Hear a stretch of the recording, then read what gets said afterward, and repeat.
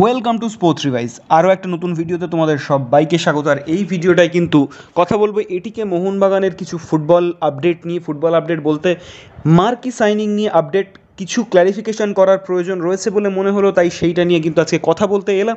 তাই সেই সব কিছু দেখতে চাইলে অবশ্যই ভিডিওটা লাস্ট অবধি দেখতে হবে এবং তার আগে অবশ্যই যারা আমাদের রেগুলার ভিডিও দেখছে, এরকম এক্সপ্লেনেশন দেখো, ফুটবলের ট্যাকটিক্স নিয়ে আলোচনা দেখো এবং মোটামুটি যেটুকুনি খবর আমরা পাই তোমাদের সাথে শেয়ার করার চেষ্টা করি। তো সেই সব কিছু নিয়ে যদি তোমরা তোমাদের ভিডিওগুলো ভালো লাগে, তোমরা যদি স্যাটিসফাইড হও, অবশ্যই সাবস্ক্রাইব করতে ভুলো না। আর যারা এখনও ভিডিওটা আর লাইক করনি তারা অবশ্যই ভিডিওটা একটা লাইক করে নাও। তো চলো শুরু করা যাক আজকের এটিকে মোহনবাগানের মার্কি নিয়ে কমপ্লিট আপডেটটা তো দেখো এটিকে মোহনবাগানে যে মার্কি আসার ব্যাপারটা, এটা অলওয়েজ কিন্তু অ্যাক্টিভ ছিল এবং এমন নয় কিন্তু rumour ATK MB management was always trying to bring up important marquee player you can say তো তারা কিন্তু একজন ইম্পর্টেন্ট মার্কি প্লেয়ার সবসময় আনার চেষ্টা করছিলেন। যবে থেকে সঞ্জীব গোয়েঙ্কা মোহনবাগানে ইনভেস্ট করেন এবং এটিকে মোহনবাগান ফর্ম হয়, তারপর থেকেই কিন্তু এটিকে মোহনবাগান চাইছিল একজন মার্কি প্লেয়ার সই করাতে।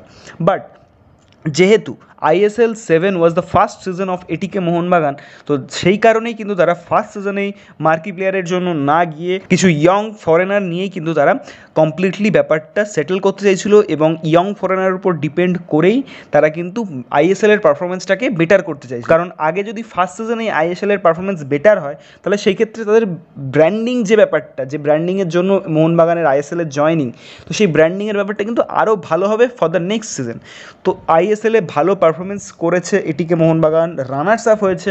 তো সেই ক্ষেত্রে এটিকে মোহনবাগান এটিকের সেট টিমটা নিয়েই এটিকে মোহনবাগান খেলছিল।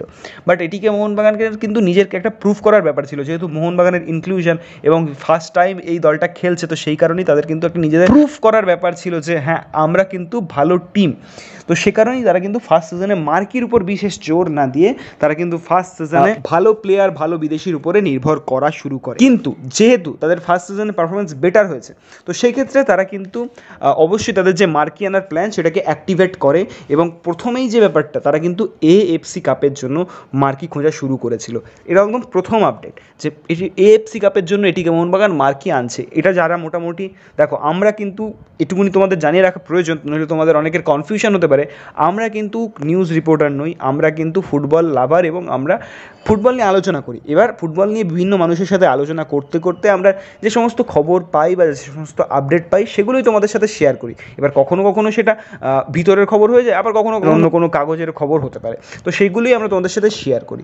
এইবার একটা যে আপডেট বেরিয়ে এসেছিল তখন এএফসি কাপের সময় সেটা হচ্ছে যে এটিকে মোহনবাগান যে মার্কিয়ান ছিল সেটা কিন্তু অনেক হাই লেভেলের ছিল।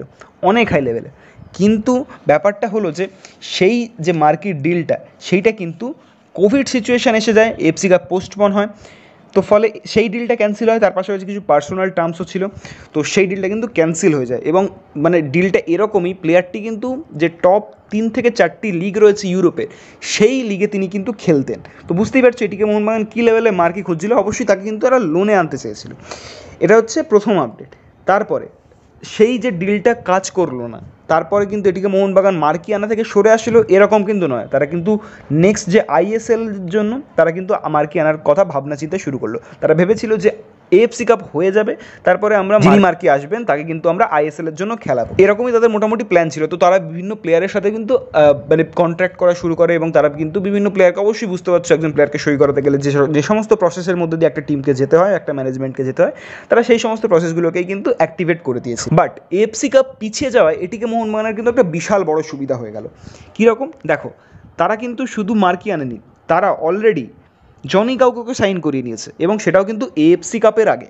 এবার দেখো জনি কাউকো মার্কেট থেকে কিছু কম বলা চলে না, একরকম ইন্ডিয়ান ফুটবলে বিকজ অবশ্যই হ্যাঁ তার আমরা যদি মার্কেট ভ্যালু দেখি বা তার যে ইন্টারন্যাশনাল ফুটবলে ইমপ্রেশন দেখি, অবশ্যই একজন মার্কি ফুটবলারের তিনি যে কোয়ালিফিকেশান সেগুলো কিন্তু তিনি ফুলফিল করেন না।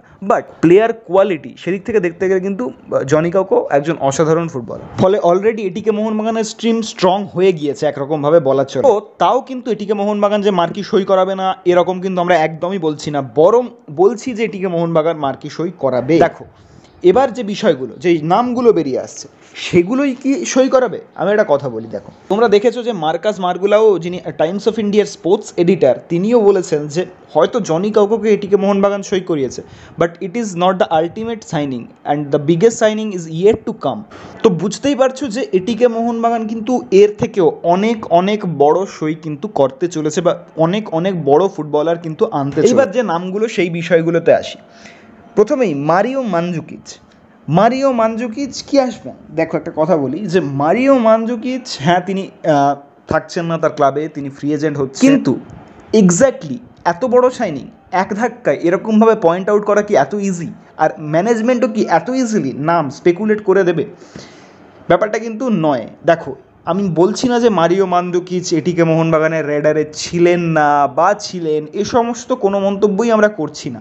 আমরা যেরকম কালকে রেখেছিলাম যে এটা একটা রিউমার হিসেবেই থাক, আমরা সেরকমই বলছি যে এটা একটা রিউমার ছিল রিউমারই থাক, এ নিয়ে কোনো কথা বলা ঠিক হবে আমাদের মনে হয় যে যতগুলো নাম বেরিয়েছে, যেরকম বেরিয়েছে বেনেশিয়ার নাম, বেনেশিয়া অত্যন্ত সাকসেসফুল খেলোয়াড় তার কেরিয়ারে যে কটা নাম বেরিয়েছে, বনির নাম বেরিয়েছে, উইলফ্রেড বনির নাম বেরিয়েছে, আমার মনে হয় যে কটাই নাম বেরোক না কেন এখনও অবধি এটিকে মোহনবাগানের মার্কি সাইনিং প্রেডিক্ট করা কিন্তু এত ইজি হবে না।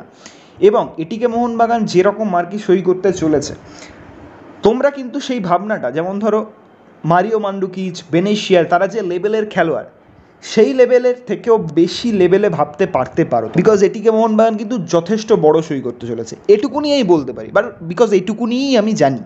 তার থেকে বেশি কিছু জানি বা জানি না সে সমস্ত কিছু বলাটা ঠিক হবে না। বাট এটুকুনি আমি তোমাদের সাথে শেয়ার করলাম যে এটিকে মোহনবাগান যথেষ্ট বড় একটা প্লেয়ার আনতে চলেছে এবং হ্যাঁ এটা সত্যি এবং হ্যাঁ এর সেটা মার্কিও হবে। কিন্তু তার লেভেল সেটা কিন্তু মারিও মান্ডুকিচের থেকে তোমরা অনেকে বলছিলে যে মারিও মান্ডুকিচ অত বড় প্লেয়ার আসবেন না।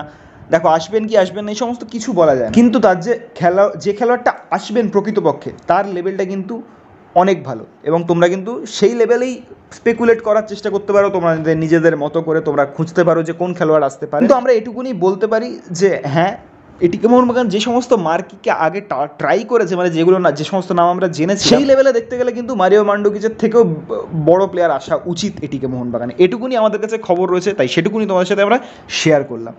তো এটাই ছিল আজকের মোটামুটি আপডেট এবং যত বড় নামই বেরোক না কেন তোমরা কিন্তু আপসেট হও না। আর এর থেকে বেশি কিছু বলাটা ঠিক হবে না বা এর থেকে বেশি কিছু আমরা জানিও না। তো এইটুকুনি বলতে পারব। তাই এইটুকুনি জানালাম তোমাদেরকে। ভিডিওটা ভালো লাগলে অবশ্যই লাইক করো কমেন্ট করো শেয়ার করো এবং চ্যানেলটাকে সাবস্ক্রাইব করে যেতে ভুলো না। আর চলো এখনকার মতো, টাটা বাই বাই